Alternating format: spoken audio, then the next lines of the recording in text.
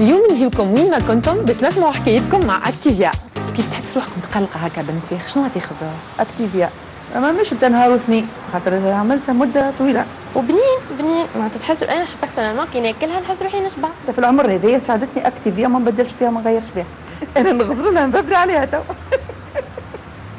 أكتيفيا بالبيفيدوس ريجولاريز تساعد على راحة الهضم وتنقص الإحساس بالنفاخ اللهم صل على النبي. وأنتم زاده جربوا أكتيفيا وحسوا بالفرق.